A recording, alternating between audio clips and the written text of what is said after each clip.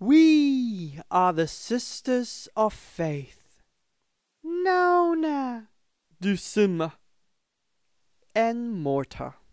We are known as the Daughters of Jupiter, and other names that we shan't say.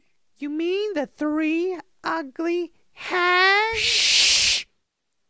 We take pride in our craft. Nona, who combined and spun the wool yarn of life.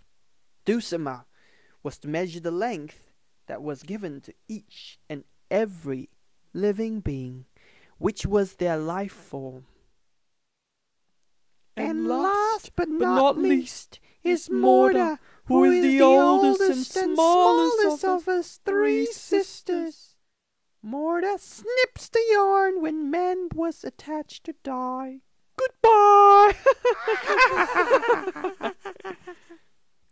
We are Jupiter's favorite children.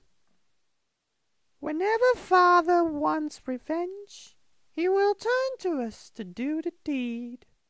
And other times he falls in love with a maiden who is fated to die, but begs Nona to respin the cut piece back together. When Jupiter would want a job done, he knew who he could count on. He wanted to be the one to kill this person, whomever it may be.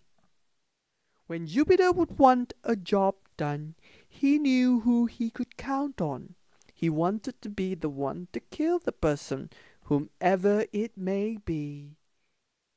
The threads are delicate and small, but tough as nails. And the only thing that could break the lifeline was Morta's shears.